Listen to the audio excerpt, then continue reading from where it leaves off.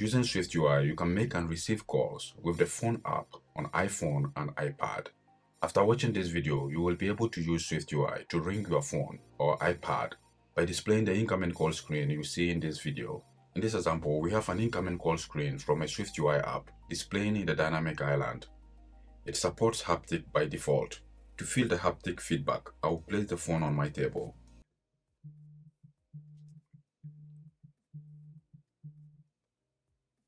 I can tap on the call in the dynamic island to enter full screen mode. Here we can perform some call operations such as declining the call, accepting the call, or setting a reminder. Let's set a reminder, for example, in an hour. The call is now declined. By setting a reminder, the information will be stored in the reminder app. So let's launch that. You can see here under the morning category, we have information about the reminder. So once you set the reminder, the information will be stored in the reminder app. I will go back to Xcode and run the app again.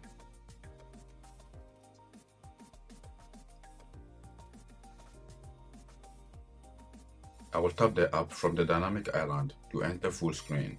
Instead of setting a reminder, let's decline the call. You can see the information here. The audio has been declined. If we now go to the phone app, you can see we have the information there.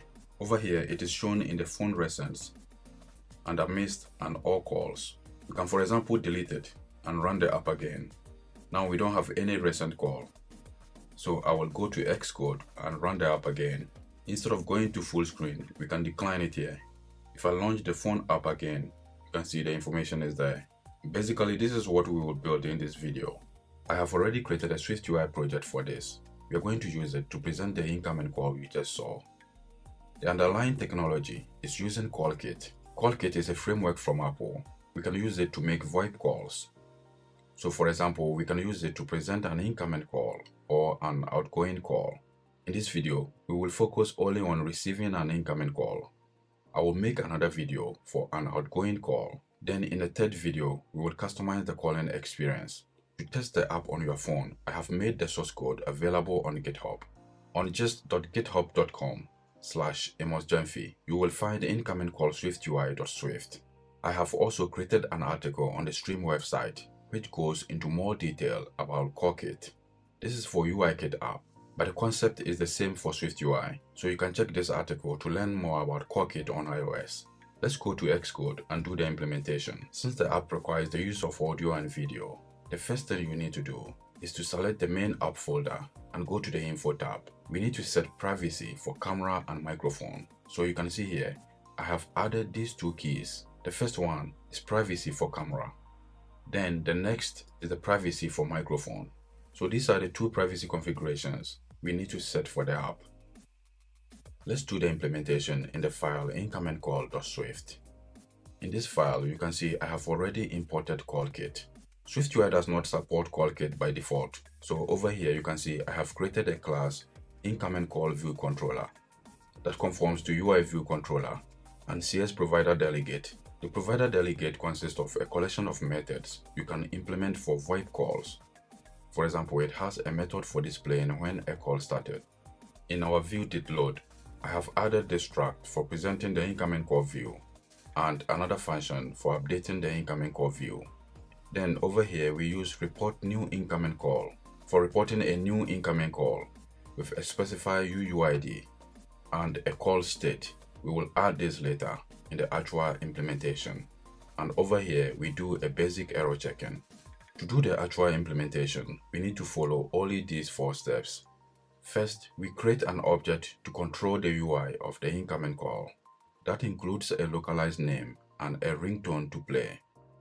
So we can use this object to also customize the ringtone we want to play. The same object can also be used to customize the caller's avatar. I will show you how to customize that in another video. So the main function of the CX provider configuration object is to control the UI of incoming calls. Next, we need to create another object for reporting notifications. We will call this call provider. That is an instance of the CX provider object. The CX provider object is responsible for reporting notifications that occur within the system you can see we have an error here because we need to initialize it with our call controller. So let's add the parameter configuration and paste the call controller. Next, we need to create a provider delegate and specify an optional queue for performing delegate methods. You can see here, the value is set to nil. That means all the methods are performed on the main queue. Lastly, we need another object to watch the call for changes. Let's call it call watchman. That should be an instance of the CX call update. The CX call update object allows the system to watch the call for changes over time. For example, it reports about when the call is started. It also reports about an ongoing call and other changes to call, such as switching from audio to video call. So using the call update object, we can specify information about the caller. For example, let's specify the call type. For the call type, we can say we want an email address. We can make it generic We can specify it as phone number. Let's use that for now and set the value to any string.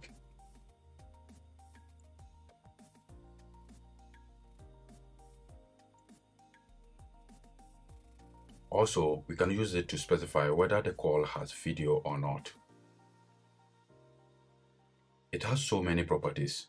So by putting a period, you can see it has all these other functions we can implement. But in this video, we will just leave it here. So this is all we need to do to implement the incoming call screen for the app. Let's run it again to see what we have. So you can see the incoming call screen is displaying the number we entered here. We can also use the instance of the object we defined here to override this number. That can be done by using the localized caller name. So let's add it here. So here we can put any name and then run the app again. So now you can see our incoming call has overwritten the number we entered here with the localized name. That is all we have in this video. In the next video, I'll show you how to present an outgoing call. Then in the third video, we'll focus on customizing the incoming call experience, such as customizing the caller's avatar and using a custom ringtone. Thanks for watching this video.